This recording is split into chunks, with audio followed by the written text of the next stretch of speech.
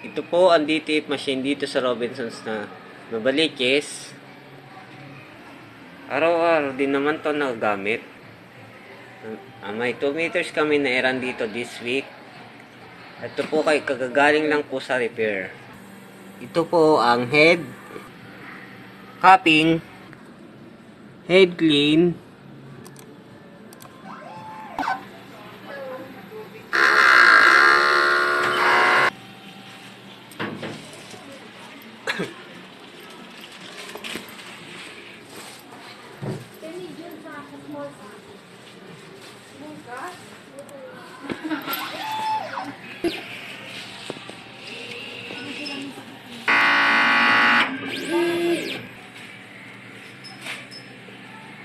nozzle check.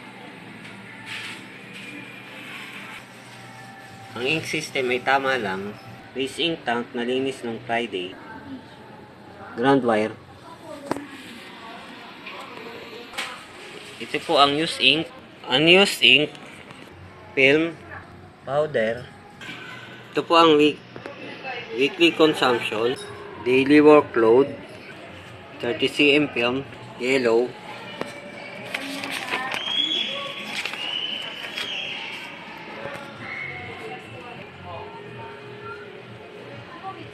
Sayan, cleaning solution, at 23rd daily checklist. Maraming salamat po.